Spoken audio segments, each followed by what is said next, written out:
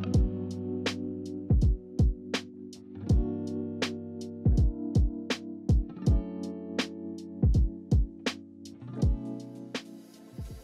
Yo, what's up guys? Joey here for Crater, and today we have a special one. We're gonna be building an RTX 4080 build. We're gonna be working with a $2,500 budget. All right guys, how we're gonna break down this video is first, we're gonna go over all the parts we're using for this build here today and their prices and why we picked them. Second, we're then going to build this PC from start to finish. I'm gonna guide you guys the whole way through. This will be a beginner friendly guide. Then at the end of the video, we're gonna put our system to the test against all current popular titles. We're gonna play a wide variety of titles to see how our 4080 performs. All right, guys, this build's gonna look sick. Let's jump into the parts. We'll kick it off with our processor first. We're going with the i5 13600 KF. We picked this guy up for 310 this new i5 boosts all the way to 5.1 gigahertz. It's gonna pair very nicely with our 4080. The motherboard we're gonna be installing it onto is an Asus Prime board. The Z790 chipset is what we have here. This is the D4 version. We will be using DDR4 RAM for this build. It comes with built-in Wi-Fi. Side here, we'll find our Wi-Fi antenna. We're also gonna wanna get out our I.O. shield and screws for our M.2 SSD. Okay, let's take a closer look at our board.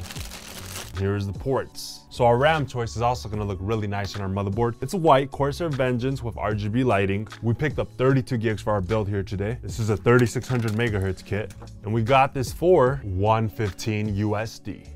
The next component, also color white, it's gonna cool our i5. This is a FrostFlow X240 Snow AIO. This AIO is a great value for your money. Goes for 55 bucks. Got your instruction manual. You will not need it because I will guide you guys through everything. And it comes with two fans that will light up. Here we have our radiator and a very solid looking AIO for 55 bucks, guys. Everything's gonna look super clean together. Next is the storage. We're going with one terabyte. This is a WD Black SSD. This was 98 bucks. And this little guy gonna go fast, really fast. What's gonna power everything? A Corsair gold rated 850 watt power supply. The RM850X. The power supply's cables, and our power supply. And you already know Corsair power supplies, very clean looking, high quality, reliable, efficient power. And what's gonna house everything is the case we paid 120 bucks for. This is Phanteks Eclipse G360A. Let's get it out.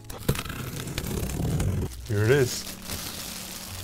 But it comes included with three pre-installed RGB fans. It's a clean case, really good airflow. All right, guys, our final essential component is our graphics card. This is a Gigabyte Aero RTX 4080. The MSRP of this card is 1,300. RTX 4080s right now on Amazon are going for 1,400. Here it is. And under here, woo, we have our RTX 4080. It's a huge card, guys. What the? Look at this. So the back plate, steel, Gigabyte. Creativity starts here, Aero, Remove the protective film. The ports, three display ports, one HDMI. The three fans. Let's go, man. Look at this card. Look at this beast. Now inside the box, I am finding two GPU supports here. These are the screws to mount the GPU supports. Yes, it does come with the cable you need to power these new 4000 series cards. That plugs into the new 16 pin port. But look at this. Like, does this really look presentable? It's disgusting. So we have this beauty of a card and you're gonna rock this stock power adapter with it? No, we strive for more here. Let's go ahead and disconnect this and we're gonna be using a Crater custom sleeve power supply adapter instead. We're gonna plug this beauty in, and this one is much longer. It comes included with four cable combs, and here we have four eight pins. This cable is also compatible with the RTX 4090. You can up the aesthetics of your build by a lot with this cable. It comes in black as well, and you can pick it up at craterhq.com. I'll link it in the video's description. Every single component we're using for the build here today will be listed in the video's description. Okay guys, so I'm gonna finish going over the optional parts. This is only to up the aesthetics of our build. Part of the optional list is the Crater custom sleeve white power supply cable for our 4080, but we're also gonna be using our Crater full kit of power supply extension cables in the white colorway as well with transparent clips versus the all black or the all white ones. To me, it's just super dope, guys. So now in the front of the build, instead of having the stock power supply cables on display, not very appealing at all. It's instead gonna hook up to our custom Crater extension cables, and then this will hook up to the motherboard instead and be on display in the front. It's gonna look super clean. And the kit does come included with plenty of transparent cable combs. Remember guys, you can pick this up at craterhq.com, link in the video description. Another thing that we're gonna throw in there is a kit of RGB LED strips. Comes with two strips, an extension cable and the cable needed to connect it to our board, and plenty of strong magnetic attachments. And last, our Funko. This is an exclusive Poison Spider-Man. It's gonna look so sick in our build. All right, guys, we're gonna jump into the build guide, then we're gonna frag it up on our system, see how it performs. Let's do it. First, we're going to be working with our motherboard and our CPU. We take a look at our CPU on the bottom left-hand side of it, there's a super tiny little arrow. And on our CPU socket, there's also an arrow on the bottom left-hand side. So we're gonna pull this lever to the side. It's gonna go all the way up. And we're gonna line up the arrow on our CPU with the arrow on the CPU socket. So we're gonna hover it over and drop it in. And it's gonna fall right in. And it should look like that, guys. Now we're gonna bring this down and we're gonna push this down. And now this is normal. We're gonna get this out of here. You wanna make sure that this is under a lever and then we push it down. You will feel tension. It's normal. You're not breaking anything. Keep pushing down with a bit of force and tuck it in. And there you go. The CPU is installed. Next is the installation of our RAM. Here are our RAM slots. We're gonna pull back the lever for second RAM slot and the fourth. We're rocking two sticks of RAM. We want them to run in dual channel. That is why we have to install it in every other slot. The RAM only goes in one way. You have to make sure that you line up the indent correctly on the RAM slot. I'm gonna line it up in there. And once it's in, I'm gonna push down with both thumbs equal force. We want it to go in all the way and this lever will clip back up. Same thing for the second stick. Line it up in there, push down with both thumbs. RAM installed. Next, we're gonna install our one terabyte SSD. So we're gonna need the screws that came included with the motherboard. So we have two standoffs and two screws. So we're just gonna use one of the screws and one of the standoffs. So we're gonna screw in a standoff to the first point. Now we insert our M.2 SSD to here.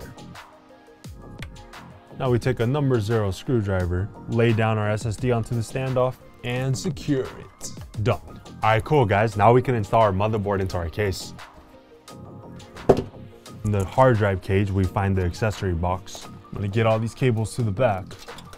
Okay guys, so when installing any motherboard inside a case, you wanna make sure that first, all the motherboard standoffs inside the case are in the appropriate layout to support your motherboard. This is an ATX board and the standoffs inside the case are already in ATX layout. So we're already good to go. First, we're gonna install our IO shield. We're gonna clip it in from the inside of the case and we want the two circles on the bottom. We're gonna clip it in. Cool. Next, we're gonna lay our case down on your desk. First thing we're gonna do is line up the ports of the motherboard with the I.O. shield. And once I've done that, I then lay the board down onto the motherboard standoffs and make sure it's lined up. So the screws we're gonna use are in the accessory box of the case, and we're using this screw, guys. So we only screwed in six points, guys. Here, here, here, here, here, and here. Now before we install our CPU cooler, we're gonna connect two CPU power cables to the motherboard real quick. Because once we install our CPU cooler, then we won't have space anymore inside the case to even hook these up. So let's hook them up first. There's two sides to each cable. One of the sides splits. The side that splits is what's gonna connect to the motherboard. So we're gonna plug it into the top left of the motherboard. And this clip is going to clip up here. Plug in our first 8 pin CPU power cable and it's going to look like that. But now we have a remaining 4 pin. So now our second cable comes into play, but we have to split it. Now we're only gonna be using four of the pins. And there we go guys, CPU power cable plugged in. Now let's install our CPU cooler, our AIO. First, let's prep our radiator. We're gonna attach the fans to it. Make sure we install the fans in this position. So I have it laid down right here. Here are the hoses, and on my right hand side is where I want the wire the fans to be facing. So I'm gonna put my first fan down and my second. Also, make sure the sticker is facing us, not this side, this side is down. And each fan has four points. We've already lined it up with the radiator. Now that we secure it.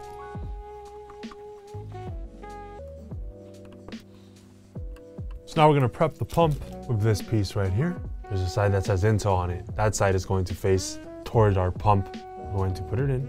And once we have it in there, we're now just simply gonna twist. And now it's attached. This piece comes included with our cooler and we're going to work it in through the back of the motherboard. Now we have all four points. We're now going to be using this bag, LGA 1700. They come included with the cooler. So I'm holding in our back plate into place and I'm gonna insert all four.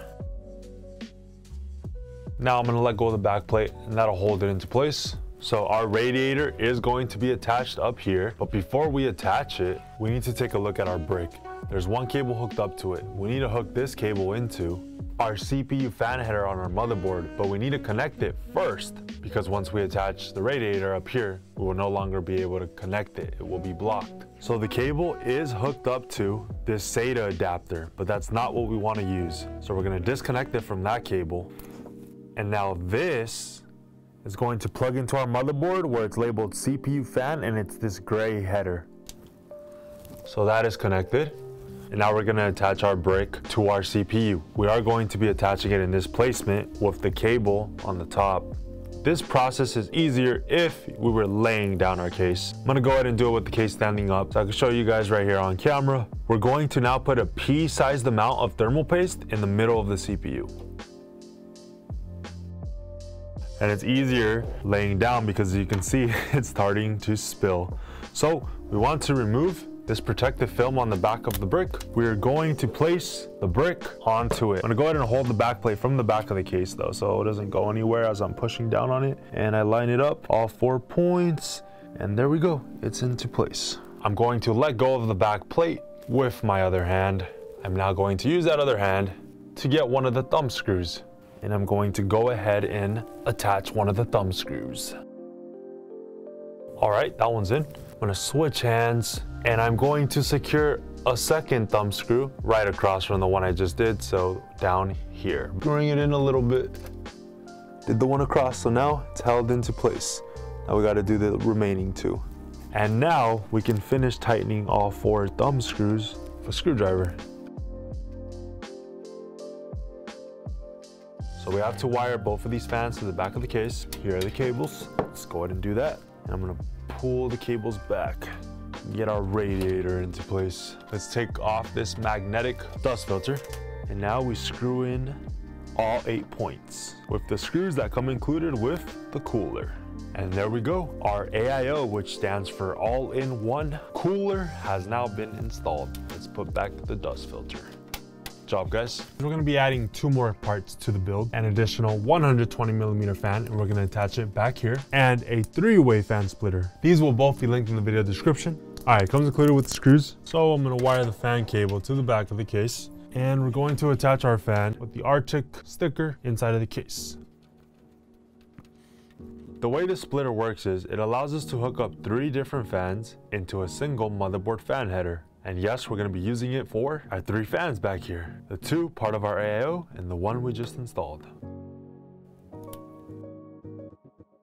And now all three fans will hook up into a single motherboard fan header that we will hook up later. So we're gonna start plugging in cables soon, but first we need to install our power supply. Okay guys, we're gonna plug in four cables. First, our 24 pin power cable, we're gonna plug in the end that is split under motherboard. Should look like that. Next, a SATA power cable. We're gonna plug in this end under SATA. Good. Next, we're gonna plug in two PCI Express cables. These will power our RTX 4080. So here's one and here's the other. They're both the same. So we're gonna plug in this end to the power supply. And this is the end that will plug into the graphics card. So we're gonna plug them in on top of PCI here and here. That's the first one and the second. Now we actually need to plug in our two CPU power cables that we plugged in earlier. So now to the back of the case, here are the two CPU cables and we plug them both in. One. All right guys, so when putting in our power supply into the case, you wanna make sure the power supply fan is facing down. We're gonna slide it into here. All right, we got it in. But this hard drive cage right here, first of all, we're not gonna use it and it takes up so much space. We're gonna remove it next. Now we secure it with the screws that come included with the power supply. All right, power supply's in. All right, so we're gonna unscrew four screws underneath the case to get this hard drive cage out. Four more screws on top. Now you're getting out of here, cage.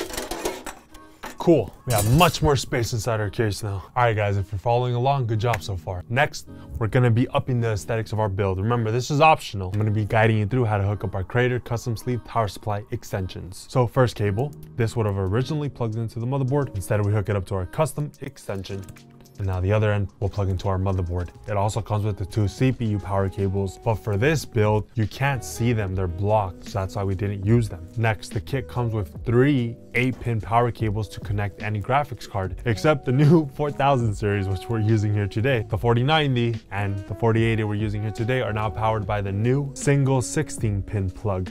So we're only gonna need a single extension for our 4080. Now we're gonna plug in four eight pin power cables to it. So first one, get this together and we're gonna clip it in. Moving on to our second power cable from the power supply. Cool. All right, all our extensions are hooked up now. And now we're ready to hook up cables, guys. Okay, we take it one cable at a time. This is gonna be really simple. We're gonna break down all the cables into three groups. The first group of cables is our power supply cables. Second group of cables is all the case cables, which connect the buttons on top of our case here, the power button and to change our lights, USB ports, audio and mic input jack up here too. And the third set of cables is our fan cables. All right guys, first group of cables are power cables. Going to install the cable combs on our 24 pin power cable real quick. So let's get our 24 pin power cable through here. And the clip of it is going to clip back here. I'm gonna line it up straight and then push it all the way till it clips. There we go. Next power cable, we gotta go to the back of our case. Now we're gonna power with SATA to this. This powers the case lights.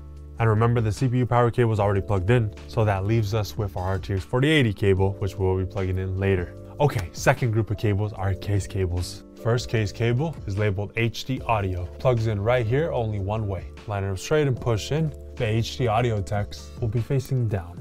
Next cable, we're gonna plug in our USB 3.0 cable right here.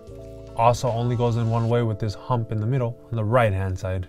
So we line it up straight and push it in done. Final case cable, we're gonna plug in our power switch into here. So it's going to be the top row, starting from here, the third and fourth pins.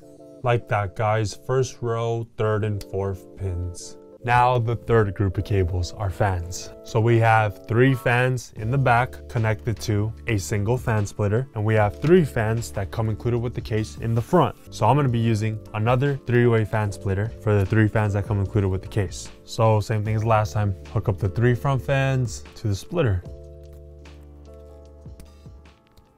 Done. Now let's move to the front of the case. So we're gonna wire both of the fan splitters through the bottom of our case. And both of these will be plugged in right here, like that. Very nice. Now we're ready. It's time to install our RTX 4080. So we're gonna be plugging in our card to the first PCI slot. So we wanna pull the lever all the way back. First, we need to make room for it. We're going to remove the second and third brackets. So we remove the rubber protector that was on here. We're gonna line up the card. And once it's lined up, we're gonna push straight in and that lever is gonna clip back up. Now let's screw in our card. Now time to connect our power cable to our 48, right? And it's connected. And there we have it, guys, we're done. Now we're just gonna do the finishing touches. I'm gonna install a Crater RGB LED kit and the Funko Pop and then cable manage the back. Cue the time lapse.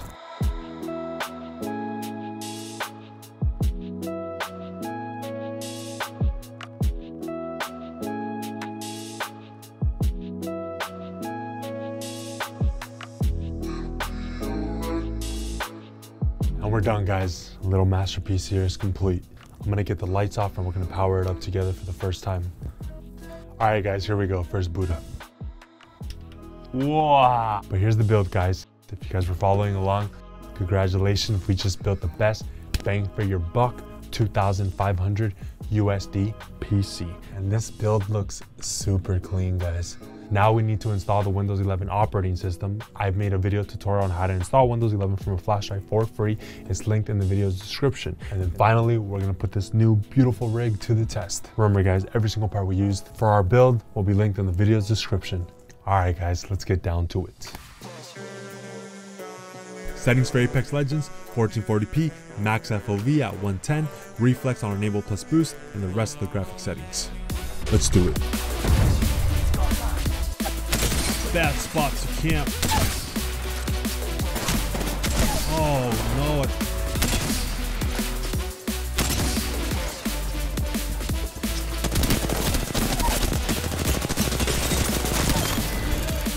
Good job, guys. Good job. Here we go.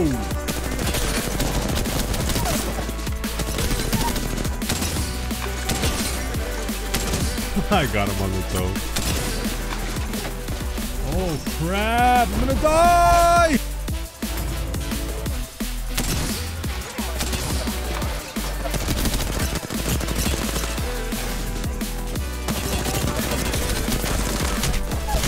Oh, dude, this guy's lit. What the? Can't win them all. Performance on Apex, that was amazing. We're gonna play God of War completely maxed out ultra settings at 1440p resolution with reflex on on plus boost.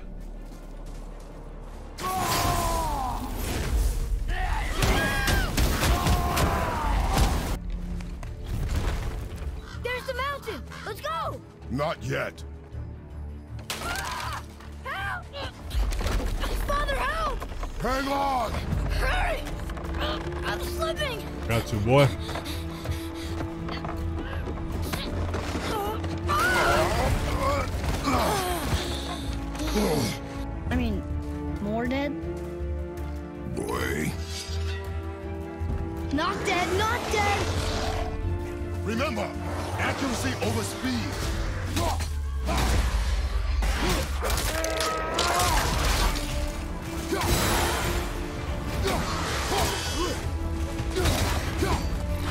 Oh shoot.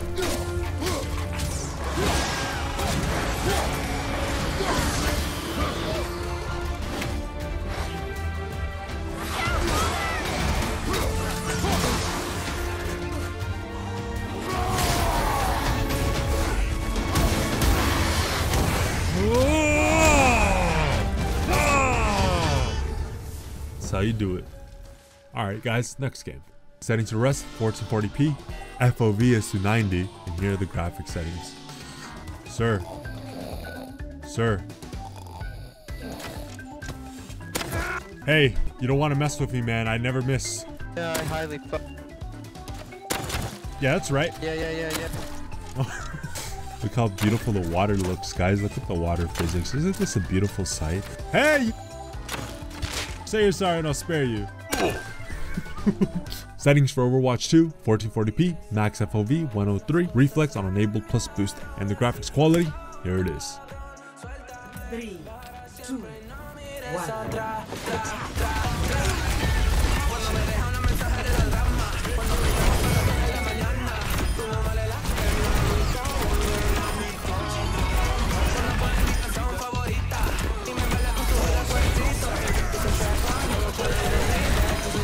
Oh, we got so many frames for Overwatch too. For Fortnite, we're playing on full screen, 1440p, VSync is off, and here are the rest of the settings.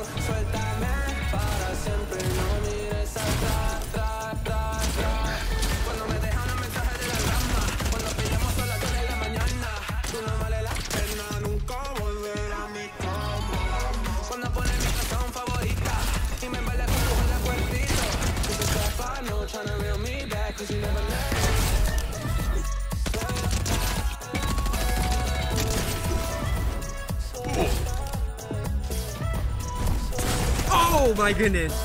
Oh well, I didn't get the win, but still, performance was super good. Settings we're going to use for Valorant, 1440p, reflex on on plus boost. Here's the graphics quality. When lit by my sonar, that's when we strike. Fight!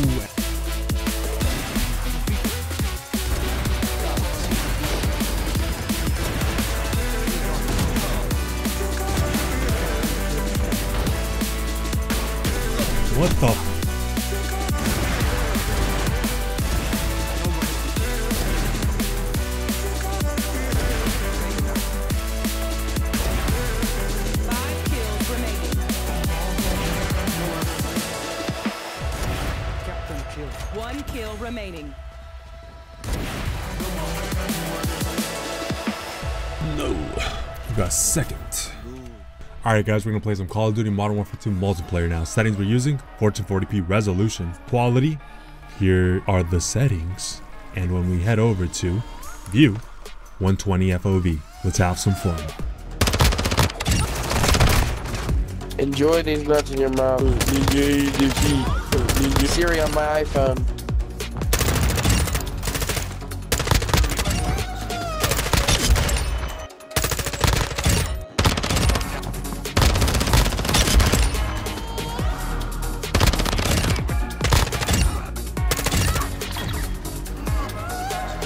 Remember the name, don't forget it. Now we're gonna move on to Warzone oh. 2.0.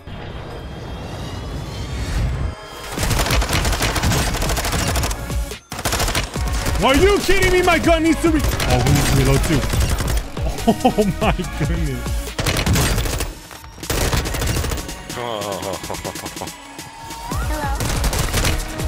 You're just hiding in the house.